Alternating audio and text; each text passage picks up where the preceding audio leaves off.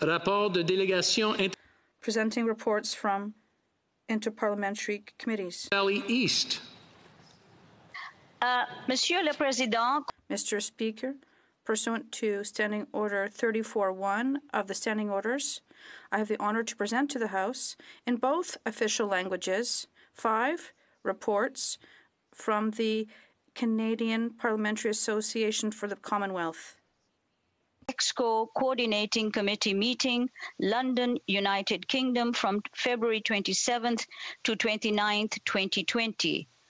La seconde concernait The second concerns the bilateral visit to the Caribbean at the Port of Spain, Trinidad and Tobago, and Bridgetown, Barbados, from January 18th to 24th, 2020.